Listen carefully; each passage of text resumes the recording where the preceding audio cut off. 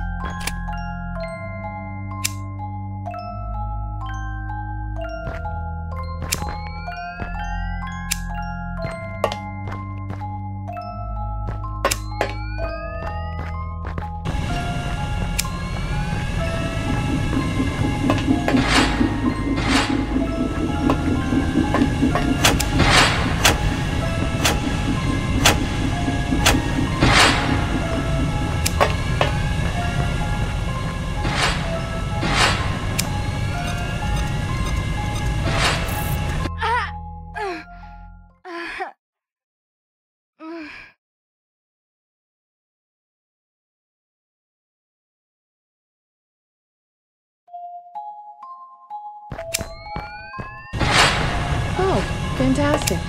Fire. Love this video.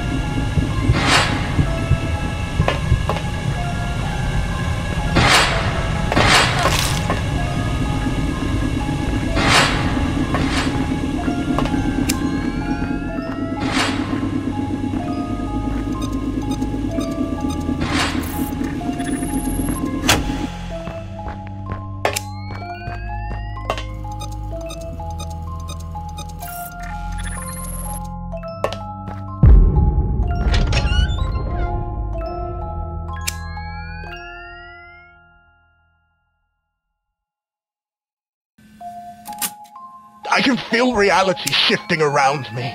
My mind is fracturing and I've begun having sinister thoughts about hurting myself and others.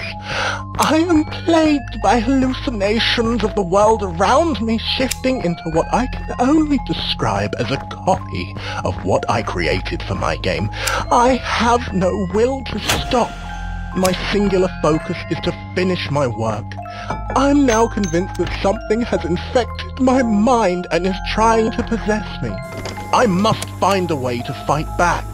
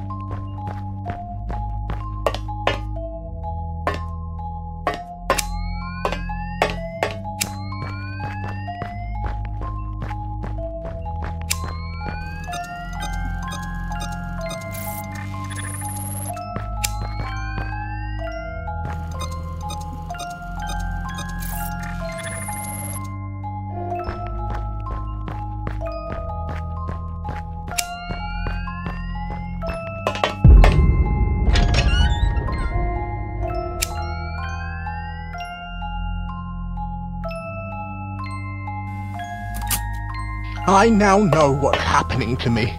The Pale Man and I are one and the same, a twisted and demented version of myself created by Leviathan. I find myself being pulled more and more into the alternate reality of the game. There's no way to stop myself from gradually turning into my creation.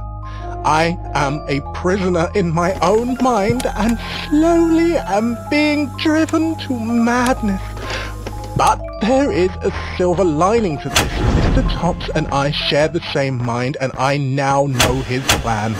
He intends to use this game to collect souls for Leviathan. The more he collects, the more powerful he will become. He will eventually be able to tear a hole in the fabric of reality and enter the real world. Well, I can't do anything to save myself. Perhaps I can code a tool or a weapon that will help the people who've been trapped in this game.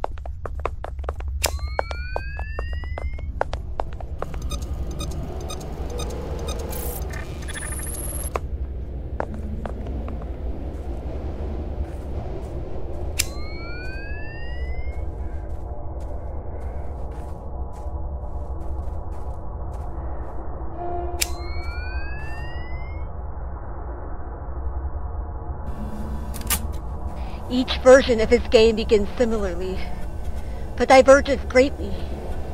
Your rendition of his game tells the tale of his most recent victim. I discovered hints that the next iteration of the game was being written using my story. Victims?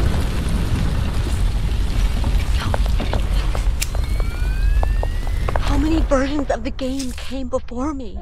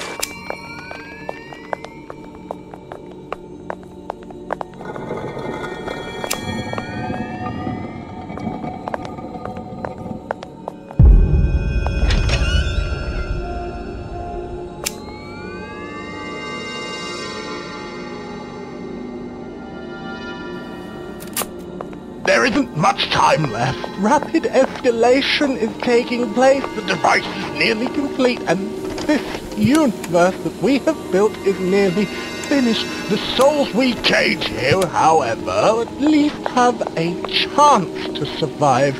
Thanks to this device, I found a way to record our memories and store them on disk. Hopefully, this will help future victims.